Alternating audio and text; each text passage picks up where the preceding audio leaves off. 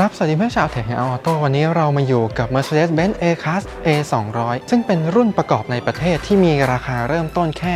1.99 ล้านบาทเท่านั้น ถือว่าทำราคาได้ดีมากๆ และก็ได้ขุมพลังใหม่ 1.3 เทอร์โบด้วย มันจะมีอะไรน่าสนใจบ้างเดี๋ยวเราไปดูกันครับ ของงานออกแบบกันก่อนเลย ในคันนี้มันคือเจ้า A200 Progressive ซึ่งเป็นรุ่นเริ่มต้นของทาง A200 นะครับในราคา 1.99 ล้านบาท มันจะมี 2 รุ่นย่อยก็คือเป็นตัว Progressive กับตัว AMG Dynamic อันนี้เป็นรุ่นเริ่มต้นกันก่อนเดี๋ยวเราจะมาดูงานออกแบบการตกแต่งข้างนอกกันนะครับว่าใน 1.99 ล้านบาท ราคาแบบนี้มันมีอะไรน่าสนใจกันบ้าง จะเห็นว่าการออกแบบนั้นมันคือตัวย่อส่วนคล้ายๆกับพวก CLS นะครับ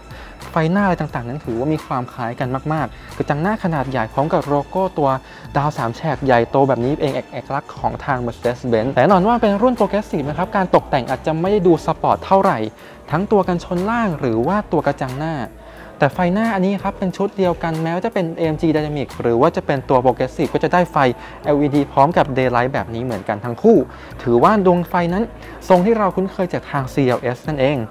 ส่วนขอบด้านล่างนี้ก็เป็นช่องตันๆนะครับไม่ได้มีช่องลมอะไรเหมือนพวก AMG อะไรพวกนี้ก็ถือว่าเน้นในเรื่องของราคาที่คุ้มค่าแล้วก็การตกแต่งอาจจะไม่ได้หวือหวาแต่เน้นใช้งานทั่วไปก็พอรับได้นะครับส่วนรูปทรงต่างๆนั้นเนื่องจากเป็น A class แน่นอนว่าขนาดมันอาจจะไม่ได้ใหญ่โตมากนะนะครับดีไซน์มีความรุ่ลมแล้วก็สวยงามพอสมควรแม้จะเป็นตัวเริ่มต้นก็ตาม แต่จะแตกต่างกันหลักๆ ก็เป็นพวกล้อเป็นพวกชุดกันชนหน้าหลังอะไรพวกนี้นะครับเดี๋ยวเราจะมาดูเพิ่มเติมกันต่อไปนะครับในงานออกแบบข้างๆนั้น ตัวล้อก็จะมีความแตกต่างนะครับเป็นจุดหลักๆเลยเมื่อเทียบกับตัว AMG Dynamic ตัวล้อคันนี้จะเป็นขนาด 17 นิ้วนะครับ 10 ก้าน ลวดลายปกติทั่วไปครับเป็นยาง 205 55 R17 ก็ถือว่าอาจจะไม่ได้ดูล้ำเท่าไหร่นะครับ ตัวล้อต้องบอกตรงๆว่าไม่ค่อยสวยเท่าไหร่ แต่เมื่อเทียบกับการทำให้ราคามันไม่ถึง 2 ล้าน อันนี้ก็ถือว่าเป็นจุดที่พอรับได้ มีเซ็นเซอร์ด้านข้างอะไรมาให้นะครับผม ตัวขอบข้างๆ ก็มีเส้นสายค่อนข้างคมสวยงาม แต่จะมีความเรียบพอสมควรเลยนะครับ กระจกมองข้างมีไฟเลี้ยวมาให้ ไม่มีกล้องรอบคันมาให้นะครับในรุ่นนี้ นี่ครับก็ถือว่าดีไซน์ข้างนอกแบบนี้นะครับ คล้ายๆกับ CLA มีความเป็นมัดกล้ามเล็กๆ น้อยๆ นะครับแต่อาจจะไม่ดุดันเท่ากับตัว CLA 35 ที่เป็นรุ่นตัวแรงของทางค่ายนั่นเองเส้นสายด้านข้างตัวนี้นะครับนี่ก็จะมีเป็นคีเลสโกด้วยนะครับผมในรุ่นนี้ ซึ่งตัวขายไทยนะครับมันจะเป็นแบบโครเมียม สามารถเอื้อมมือเข้าไปแล้วปลดล็อกได้เองเลย แต่อันนี้เป็นตัวเยอรมันก่อนสเปคบางส่วนอาจจะไม่ได้เหมือนกันเท่าไหร่นะครับนี่เส้นสายด้านข้างก็มีความเล็กนะครับเมื่อเทียบกับความสูงของแอดมินนะครับประมาณนี้ก็ถือว่าเตี้ยพอสมควรเนื่องจากเป็นรุ่นที่เล็กที่สุดของทาง Mercedes-Benz พื้นที่ภายในอาจจะไม่ได้ใหญ่โตมากนะแต่ถ้าเน้นขับ 2 คนในพวกนี้ก็ถือว่าพอใช้ได้เลย ครับในงานออกแบบของด้านท้ายนะครับไฟท้ายตรงนี้ถือว่ามีความสวยงามพอสมควร ทั้งรุ่น Progressive หรือว่า AMG นั้นก็จะเป็นไฟชุดเดียวกันนะครับเป็นไฟ Lightning Guide นะครับสวยงามเป็นคล้ายตัว Y แบบนี้และอันนี้ถือว่าค่อนข้างออกแบบลงตัวพอสมควร และแน่นอนว่าเป็นจุดที่แตกต่างกับตัว CLA ด้วยเช่นเดียวกันนะฮะนี่ส่วนด้านล่างนั้นเป็นไฟทับทิมนะครับแล้วก็พร้อมกับเซ็นเซอร์รอบคันชายล่างมีการเล่นสีดำแล้วก็ถ้อยเสียหลอกมาให้ 2 ข้างนะครับ อันนี้ก็ถือว่าทำได้ดูดีนะครับมีความลึกพอนะฮะไม่ได้เป็นแบบท่อตื้นๆแบบรุ่นก่อนๆ มีการเล่นโครเมียมมาให้นะครับ แล้วก็ด้านล่างก็เรียบๆไม่ได้มีครีบอะไรมาใส่ตรงนี้นี่ถือว่าค่อนข้างชอบนะครับในเรื่องของงานออกแบบคันนี้ถือว่าด้านท้ายในภาพรวมมันเทียบกับราคาเริ่มต้นแค่ 1.9 ถือว่าทำได้ค่อนข้างโอเคนะครับมีการเขียน 8A 200 เข้ามาให้นะครับนี่ต้องบอกก่อนครับคันนี้เป็นแค่รุ่นเริ่มต้นเลย ชุดแต่งอาจจะไม่ได้ดูสปอร์ตมากนะ แต่ก็ถือว่ามีการตัดสีดำอะไรเข้ามาถือว่าโอเคอยู่นะมาดูห้องสัมภาระข้างในกันก่อนเลยคันนี้นะครับ เป็นระบบเปิดด้วยมือนะครับผมนี่ไม่มีไฟฟ้าอะไรเข้ามาแน่นอนว่าเป็นก็พอเข้าใจได้เมื่อเทียบกับเรทราคาประมาณนี้ห้องสัมภาระคันนี้จุประมาณ 420 ลิตรนะครับก็ถือว่ามีความกว้างอยู่เหมือนกันนะฮะนี่แม้จะเป็นตัวรถเริ่มต้นขนาดเล็กแต่ก็ห้องสัมภาระพอใช้ได้เลยแล้วก็มีชุดปะยางมาให้ไม่มีล้ออะไรมาแล้วนะครับในรุ่นนี้นะเนี่ยครับก็เป็นประมาณนี้ในส่วนของห้องสัมภาระท้าย มีที่ดึงพับเบาะอะไรนี้เข้ามาให้ด้วย แล้วก็มีตัวไฟทับทิมเวลารถจอดเสียอะไรก็ยังคงใส่เข้ามาให้สามารถถอดมาใช้ได้นะครับ แต่แน่นอนว่ามันไม่ใช่ระบบไฟฟ้านะครับผมทั้ง A class ทั้งรุ่น GLA ก็ยังไม่มีระบบไฟฟ้าเข้ามาช่วยนะครับในตรงนี้ครับในส่วนของงานออกแบบภายในนั้นเป็นยุคใหม่ของทาง Mercedes-Benz แล้วก็คือการเรียงแอร์แบบนี้แล้วก็มีการเล่นสีดำเงาๆแบบนี้คือว่าค่อนข้างสวยงาม แล้วก็จุดเด่นของทาง Mercedes-Benz ก็คือ การเล่น Ambient Light ที่ค่อนข้าง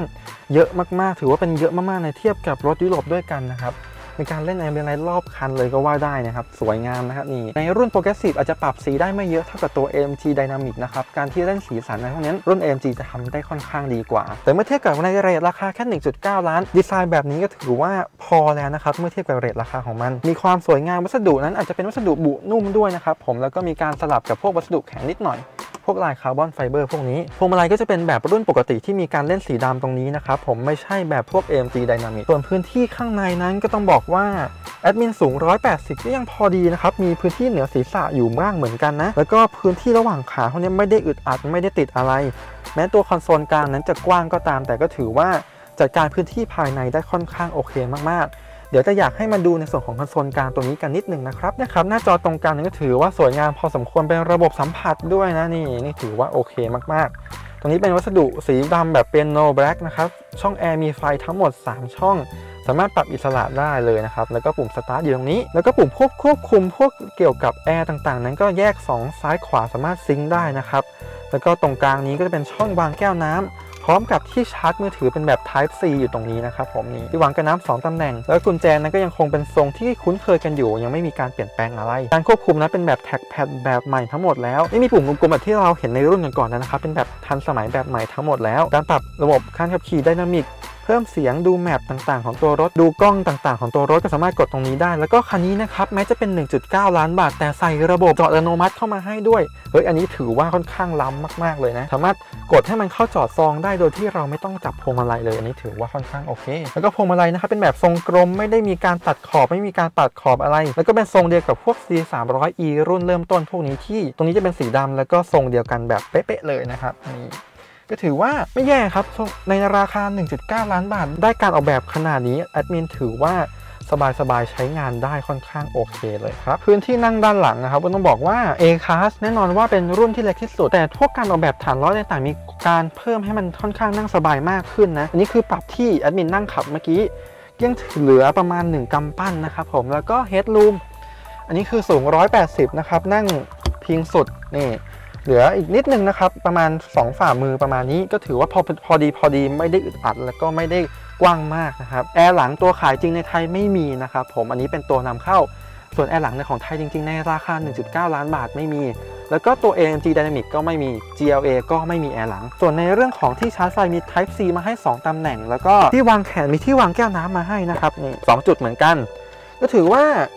นั่งสบายๆครับสำหรับวัยรุ่นทั่วไปแต่ถ้าคนสูงอายุอาจต้องบอกตรงๆว่า การขึ้นลงหรือว่าการนั่งอาจจะยังไม่ค่อยเหมาะเท่าไหร่ แต่ถ้าวัยรุ่นซื้อให้แบบลูกๆนะครับเอาไปขับมหาลัยนี้ถือว่าอันนี้ตอบโจทย์พอสมควร ตัวเบาะไฟฟ้ามีแค่ตรงตำแหน่งคนขับเท่านั้นนะครับข้างๆเป็นเบาะปรับมือนะครับในเรทราคานี้ก็ถือว่า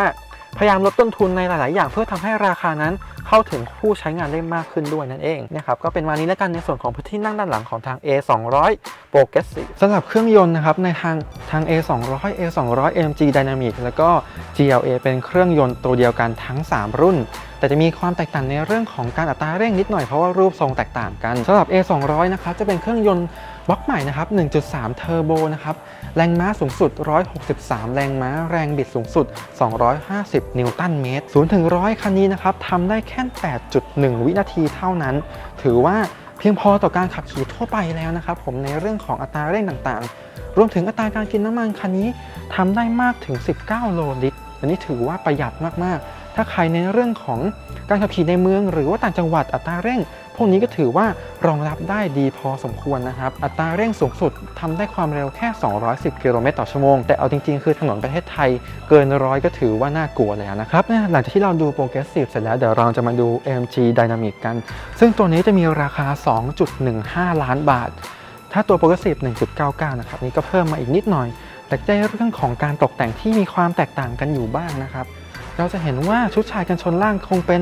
ทรงเดิมที่เราคุ้นเคยกับพวกตระกูล AMG Dynamic ทุกๆคันที่จะใช้งานการออกแบบแบบนี้นะครับ มีช่องตรงนี้สวยงามพอสมควรเล่นโครเมียมด้านล่าง แล้วก็เปลี่ยนชายตรงนี้ใหม่ทั้งหมด แล้วก็ตัวกระจังหน้ามีการเล่นแบบ diamond ตรงนี้ขึ้นมานะครับ ซึ่งตัว Progressiveจะเป็นสีดำทั้งหมดเลย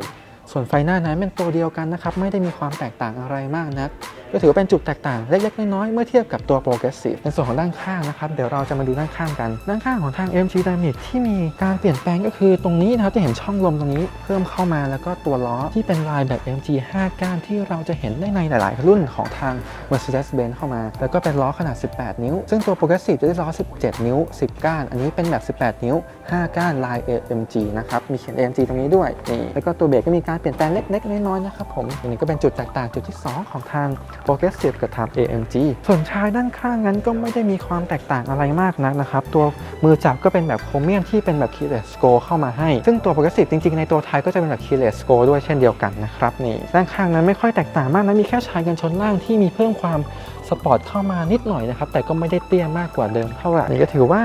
มีความสปอร์ตมากขึ้นก็ เป็นการตกแต่งของทาง AMG เขาที่เพิ่มเข้ามานะครับนะครับด้านข้างฝาถังน้ำมันก็อยู่ในด้านซ้ายของตัวรถเดี๋ยวเราจะมาดูงานออกแบบส่วนด้านท้ายกันนะครับนี่